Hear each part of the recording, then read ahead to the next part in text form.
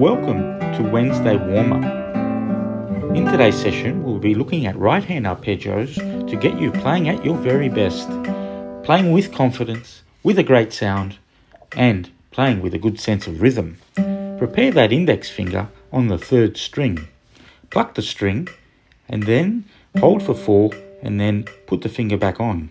Do the same thing with the middle finger. So pluck the string, hold for four, put the finger back on, hold for four and then pluck again. Do the same thing with your A finger. Prepare the finger, pluck the string, hold it for four beats, put the finger back on.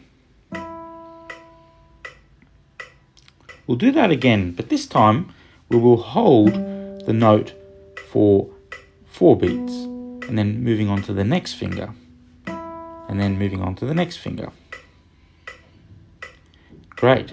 Now pluck each note holding for two this time. Doing it again. And this time we will pluck each note on each beat.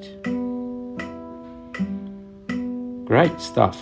Now repeat the whole thing again and thank you very much for joining us on Warm Up Wednesday.